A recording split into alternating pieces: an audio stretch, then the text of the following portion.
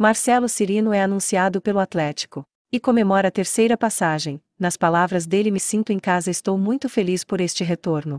Aqui é um lugar em que realmente me sinto em casa. Tenho certeza de que essa volta será tão maravilhosa quanto a passagem anterior.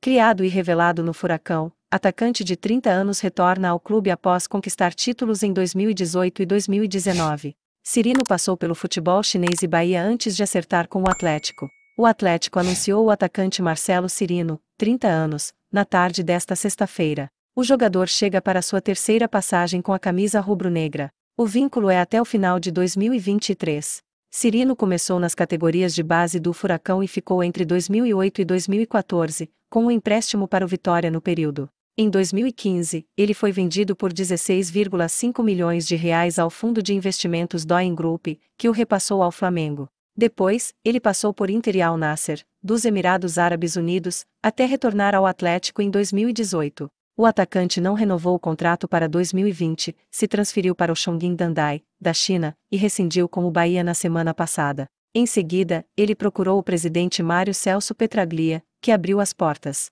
No total, Cirino tem 49 gols marcados em 210 jogos pelo clube. Com a camisa atleticana, o atacante conquistou a Sul-Americana, 2018, J. League Comebol, 2019, e Copa do Brasil, 2019. Na final da Copa do Brasil, inclusive, ele fez uma grande jogada para o gol do título, que virou até tatuagem. Cirino, de costas, deu lindo drible em Edenilson, passou por mais um, entrou na área e tocou para Rony marcar. Assista e relembre o gol.